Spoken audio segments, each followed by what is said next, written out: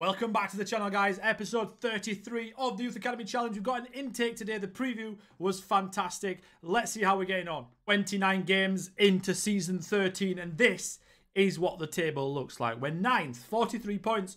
We are level on points with Modena, and Roma are one point ahead of us. Lazio are three points ahead of us. We do have a plus goal difference. Juventus, by the way, are four points below us. They do have a game in hand, but they've got a minus five goal difference. Juventus I'm going to say aren't very good, but they did beat us in the Europa League knockout playoff round. You know, the one before the uh, round of 16. They beat us on penalties. Very annoying.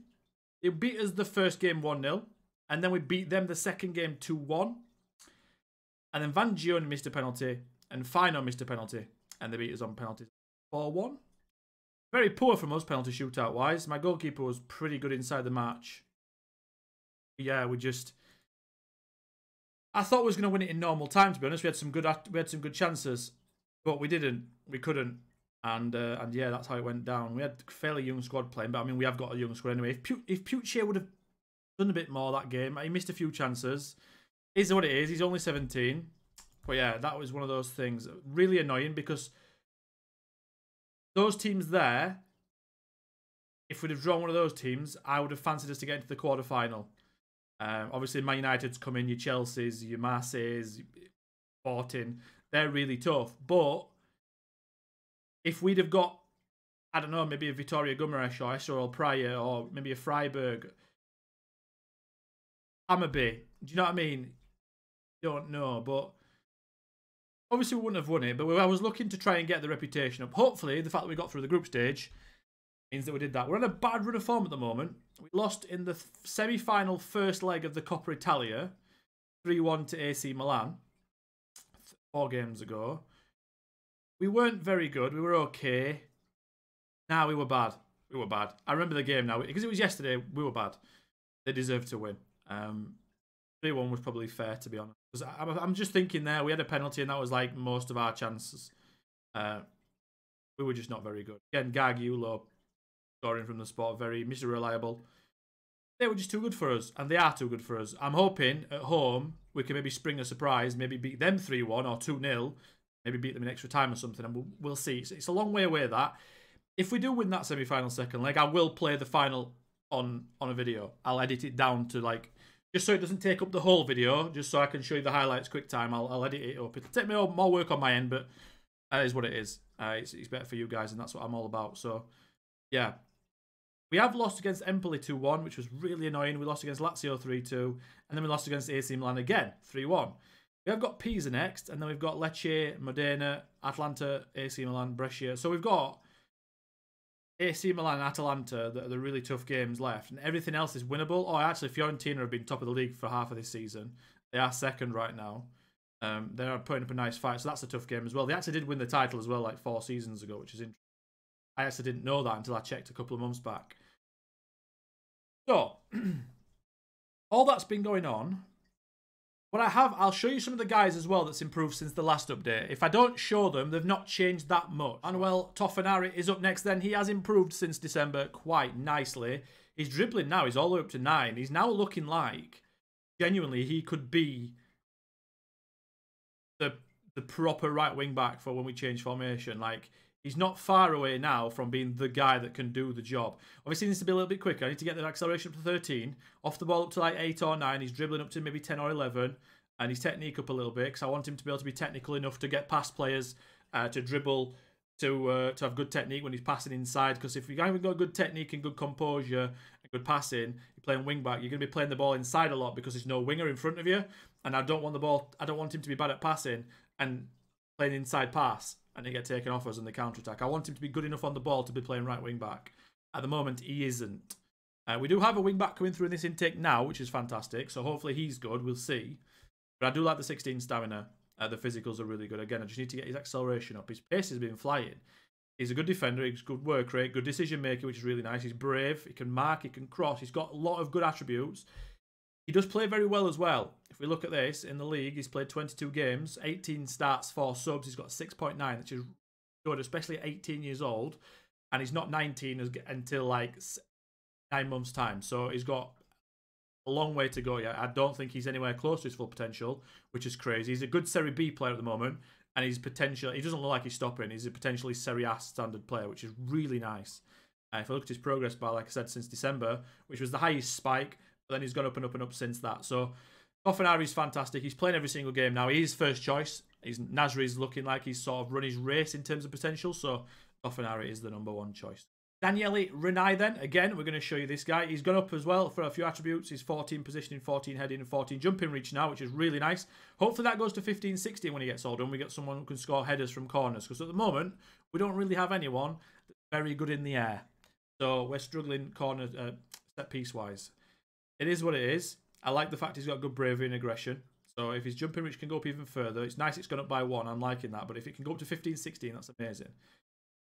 This guy's also first choice. He's not playing as well this year, which I don't like. 26 games, 6.73. Development, he did go up December. He jumped up massively in January and February, and then he went back down. I don't know why that is. I'm not entirely sure why that is. But again, good Serie B player, potentially Serie A player. So we are now looking upwards rather than downwards. I don't think we should finish any lower than 10th, like I mentioned last uh, last episode. Another thing as well, next episode, not this one, but the next one at the start of the next season, I'm going to get the bingo sheet out again and the progress sheet out. And we're going to go through that for the first couple of minutes of the next episode. See what we've got to tick off, see what we need, etc. Obviously, we're not going to get every single objective on that sheet, I don't think. But it'd be nice if we can tick a few more off because obviously I am aware that I've not used it as much as I'd like to, but I also didn't want to show it every single every single two episodes because if I didn't have anything to mark off, it would be a pointless feature. I want it to sort of be a bigger thing where we can tick off three or four things every couple of seasons and it's a bit more engaging rather than just throwing it in every episode. It feels a bit lazy. I'm going to show you guys Eduardo Rocchi now. he's a he's a weird one. He won't change from two star current ability. Now, every single time, I've just got to tell you guys, every single time I've done this save, I've done it in England. I've completed it in England and I've complete on stream and I've completed it offline on myself in Spain in previous FMs. I've tried it in Portugal on stream. I've tried it in Portugal. Basically, I've tried it in Greece as well. I've tried it loads of different times. And every single time I've had an, the same experience as a player like Rocchi, it's 95% of the time being because he hasn't got much potential. But there's, there's no reason why this guy won't improve with a lot of games but other players do. There's no reason for it, other than his potential isn't as high as we thought. Now he's wanted by Lazio, I think it is. Oh, now it's Juventus, which is weird because you'd think that means he's got potential. So why is he still? If you look at the graph from April last year to March now, he has gone up, but it, I don't know what it is. I'm not entirely sure what it is. If we look at his all-time improvements, it's not that high. Like his dribbling's gone up by four because I've hard focused it. Um, his physicals have gone up a little bit, not much. I know you guys can't see it, but they've not really gone up that much. Um, concentration up two, anticipation up three. Some things have gone down, and that just tells me that they're going down for other things to go up, which means his potential is not very high. Because if I look at other players like Toffanari, for example, then they will have upward arrows on every single attribute.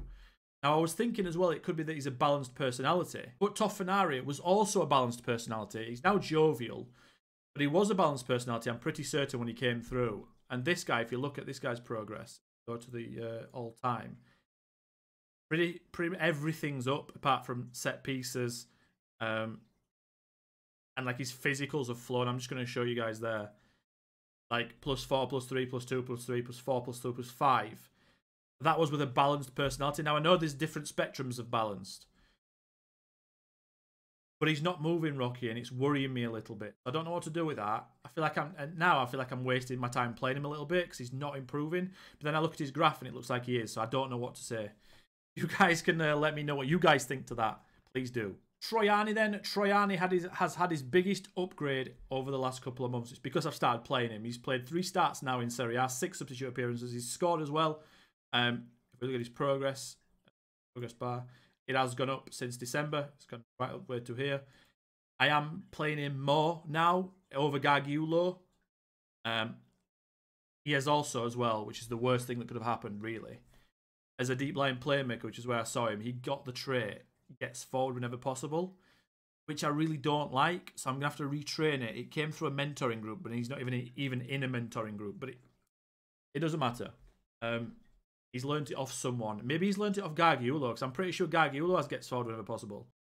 Yeah, like I thought he does. So maybe it's not as big a deal then, because Gargiulo is our deep line playmaker, and he's been fine for so long and he's got gets so maybe it was him that gave him that. I don't know. Maybe he was like, right, I know you guys you're taking over my spot. Um, so here you go. Have one of my traits. Likes to lob goalkeepers away.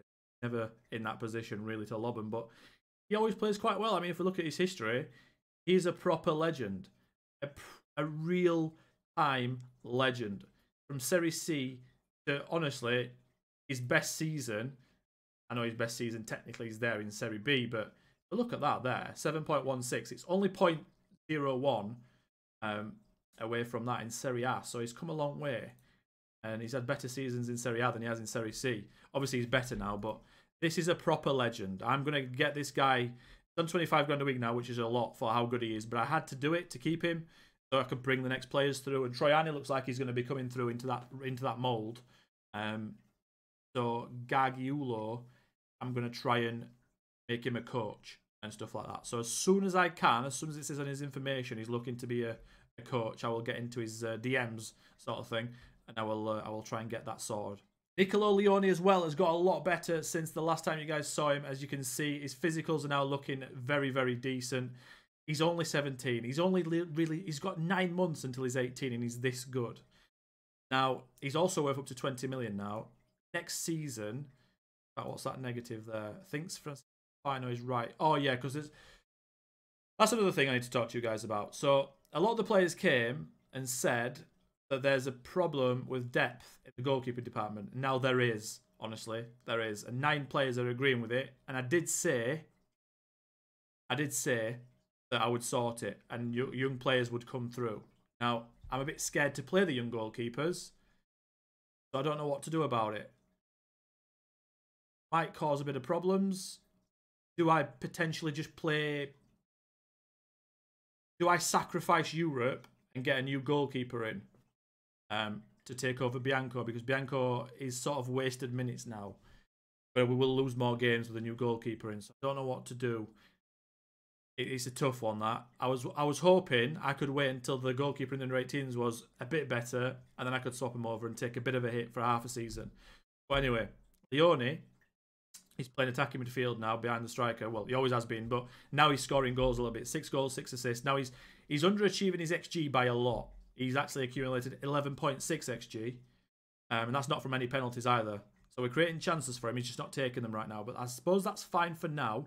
That keeps being a thing. We might have to give him a trait or two to stop that. Maybe give him places shots because he's got good technique. I don't know. We'll see. But his progress bar since December has gone up again. It's gone a little bit down again. I don't know why, but he's just getting better and better and better. And now he's a starting player constantly now, which is really good because I don't have to worry about him bringing our performances down like they were before. Tommaso Pucci then, I know you guys are expecting him and here he is. He's now a three-star advanced forward and look at the physicals. The physicals are helping us out so much. He's just the guy now that we can ping the ball to and he can get in behind. Now he has got the facilities to actually be able to get in behind, stay in behind and finish. So he's, he's every single match well, every single month, I would say, he's looking more and more like a Serie A striker, like a top one that we can maybe take into the Champions League and score a lot of goals in there. Composure is going up, which is I've, I've tried to retrain, I've tried to train there with the final third, so that's going up with decision making. I'm going to keep that on for a little while, and then I'm going to go back to advance uh, attacking movement to get his off the ball up to 14, his anticipation up to 14. Once they've hit 14, then I will work on his ball control to get try and get the dribbling up to like 11 or 12. First touch will get to 15, technique will get to 15, and then we'll see where we're at after then. But that is the plan to sort of bring those up.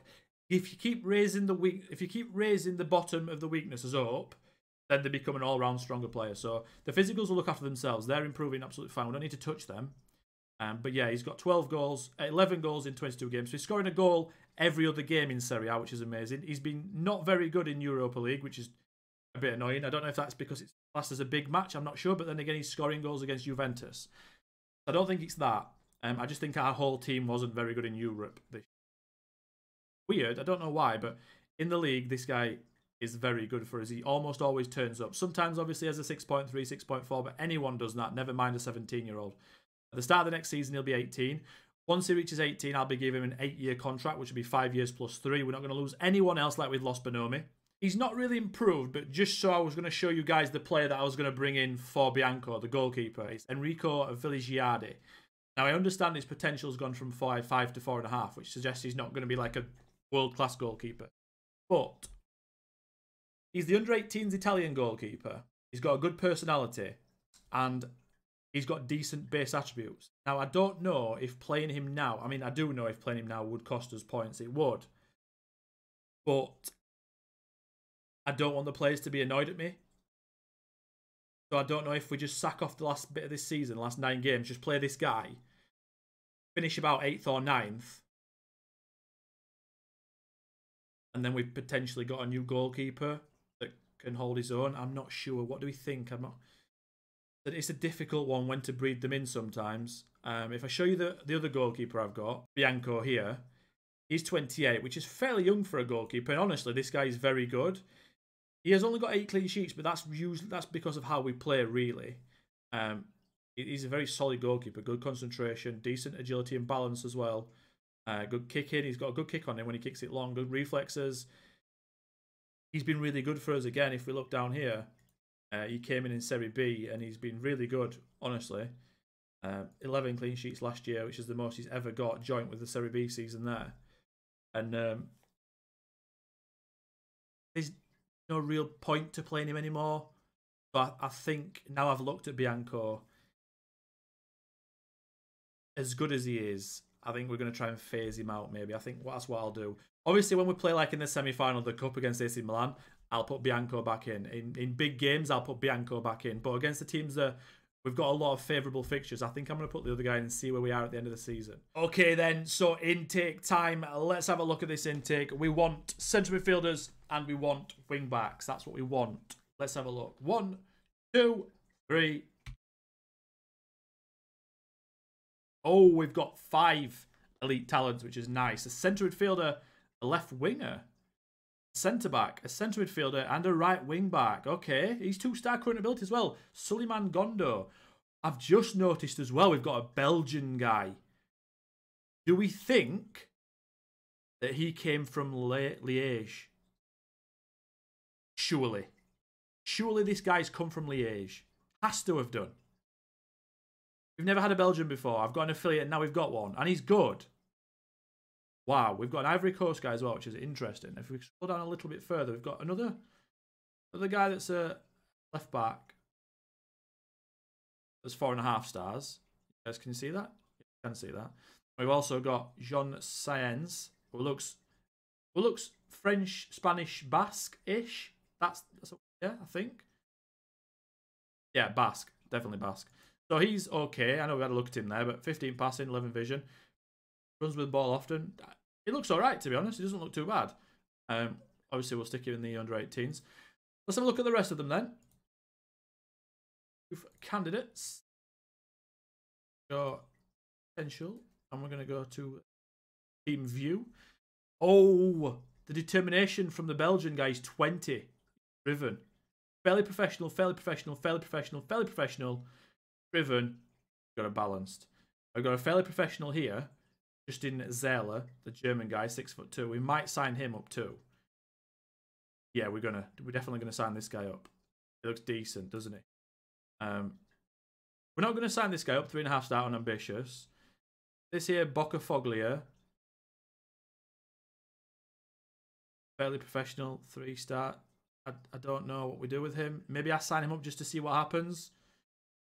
I think we should. Um, and then this guy, Pedagi.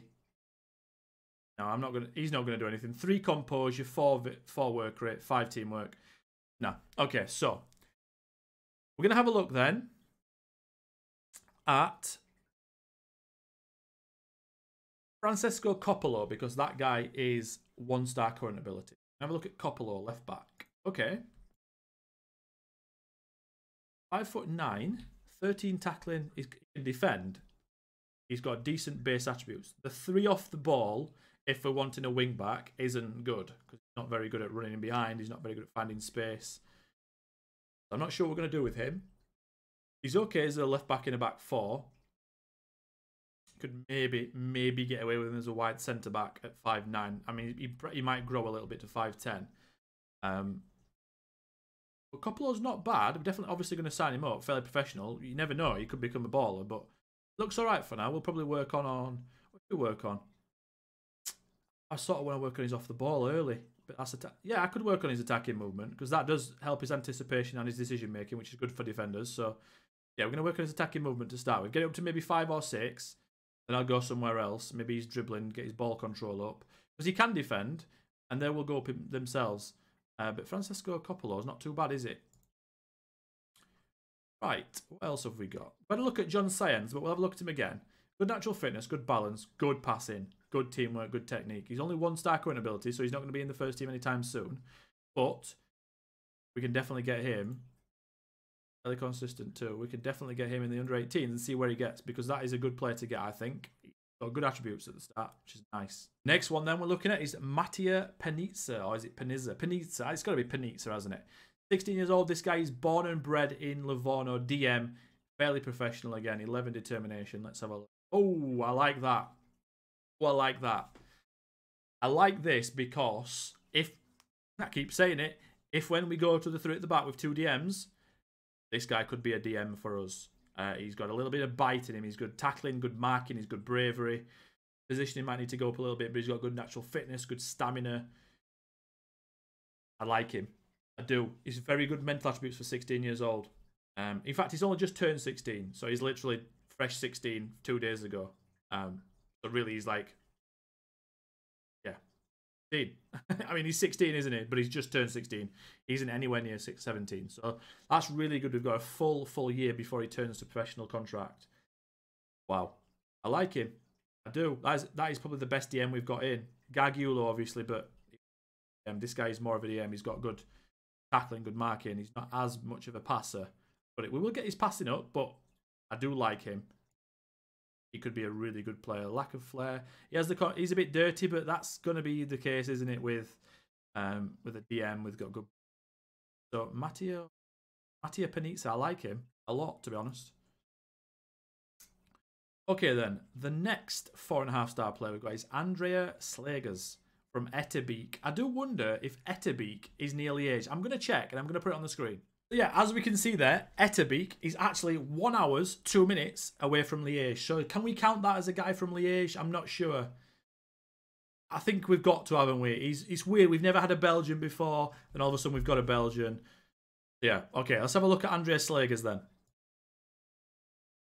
14 dribbling, six foot, can tackle, good technique, good positioning. Wow, he's a diff. a weird one, isn't he?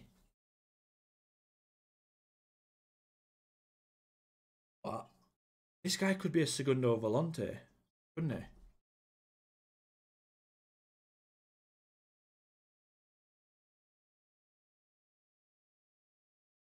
I like the attributes. The long shots is bad. Oh, why do you not need Segundo Volante? A dribbling for that? I thought you needed a dribbling. Apparently you don't. Okay. More like a deep line playmaker with six passing. Yeah, I don't think he really fits any mould for us. It's weird. Uh, obviously, we'll make him into one. He's obviously going to be a good player. 20 determination as well. Wow. He's, I don't know, like 14 dribbling, you'd think, oh, then maybe he's more of an attacking midfielder. And then you see 8 off the ball and 14 positioning. And then you think, oh, okay, so he's a defensive midfielder. Yeah, it's weird. Six foot, which I like. Natural fitness. Bravery. Got some good attributes. Not sure what to do with him. Weird one. Again, you guys in the comments might have to let me know. His best role right now is centre midfield defend. Which probably makes sense. Either way, he's also got a competitive streak. Not consistent, but that's fair enough. Determination should carry him a long way, though. Media handling style, unflappable. That is really, really good. He's a Livorno supporter. That is interesting. That is interesting. He came from Etterbeek.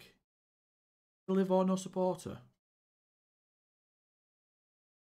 Now I'm wondering if I have any. I do. Oh, is he French? Oh, he's Belgian. Ferreira.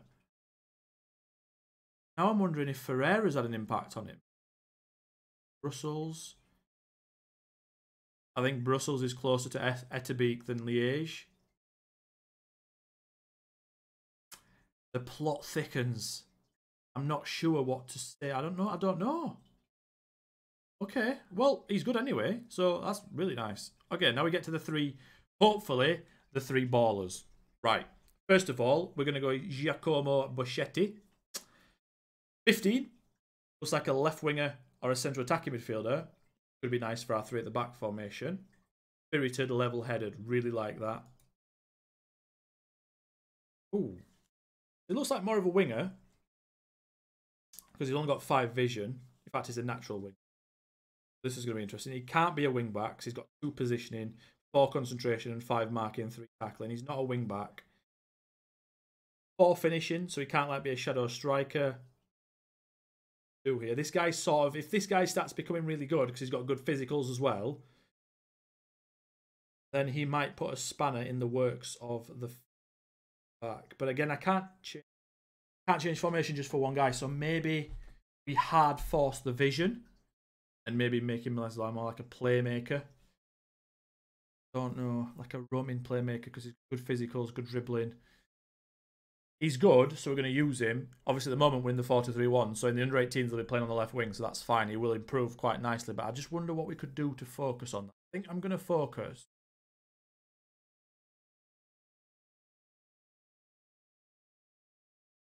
Don't know yet. Consistent, which is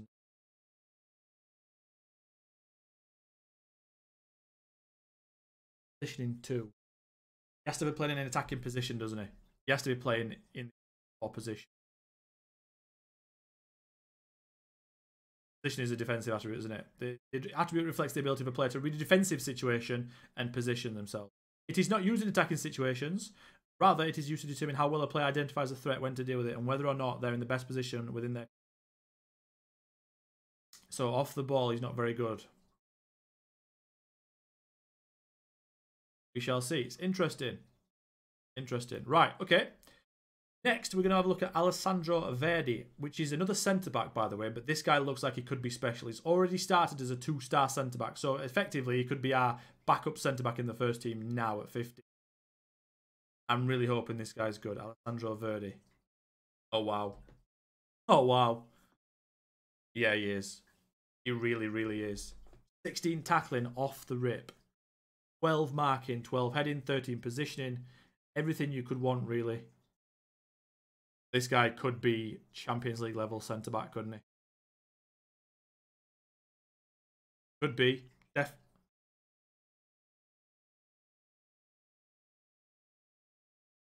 could 100% be that guy at centre back. Wow. I wonder how much he's worth when he joins. Um, might have a problem with injuries, which is I mean, he's got competitive streak as well. They're downsides, aren't there? See, got bad injury problems. That could. Be. I think straight away, I'm going to work on his composure and decision making. Uh, because he, he doesn't really need to help with his defending. He's, he's already good. That will go up itself to 14, 15, no problem, if not more. Physicals eventually, but they'll take care of themselves of it, uh, pretty much straight away because in uh, when you're like 15 to 18, your physicals have the highest uh, development. So leave that for now. He looks very, very good. A little bit worried about the injuries and the competitive streak. More about the injuries, to be honest, because if he's not on the pitch, then it's a worry. Uh, but he does look very, very, very good. Suleimani Gondo, then. I love that we've got an African player in as well. Wing back right. Interesting. He's not a right back, he's just a wing back. So 13 determination, fairly professional, and he's reserved, which is really nice. So this guy's got like a really, really good personality. Let's, yeah, he's good. He is very, very good because if you look at it, he's got pace straight away. 15 years old, he's got 13 pace, 13 acceleration, 13 stamina. Five foot three is a bit of an issue. He can tackle a bit, he can mark a bit, good off the ball straight away, good flair for a right wing back. Good teamwork, which is really nice. Can cross, can dribble straight away at 15. He's going to be I think he's going to be a 30, 40 million pound player. He's going to be with us a long term, long time. We can obviously retrain him as a right back if we do decide to stray as as a four at the back. It would be a very good wing back in a four at the back. It'd be even better wing back in a three at the back. This is one of the guys that I'm wondering if Mattia Rizzi now might have to go in the attack, or maybe Mattia. We've got Toffanari and Nasri, haven't we? Yeah, we're now inundated with right backs. We're not as many left backs. But he looks very, very good. Very, very good. Wondering if. Now, Anaz is Nigerian. He's from Agnibilékrou. Agnibilékrou. I don't know where that is. Ivory Coast. So he is got a problem with his consistency, which is fair enough. He's 15. But he's already close to Nasri. I like him. We've got some good players there. We've got three or four very good players that I can see in the first team. Really nice. That is, again, another really good intake. So if we go to the staff members and we go to Onya Onazi, he's now learning his Continental A license. I don't think that much yet. Maybe as he gets older, it goes up. I was under the assumption that as soon as they get the license, the next license, their attributes go up. Doesn't like it's the case, does it? So we'll see. If we do, though, if we do get to a four star team next season, which is hopeful, then we might have access to another level of head of youth developments. Now, I'm a little bit hesitant to change Onazi because of how good he's doing right now. But that is what eight, another eight players, nine players with this guy that I can sign up, which is really, really nice. That's going to be it for today's video then, guys. Please leave a like. Please leave a subscription on the channel. That would be amazing. Please leave a comment as well with anything we've discussed in the video. And until next time, I'll catch you then. Goodbye.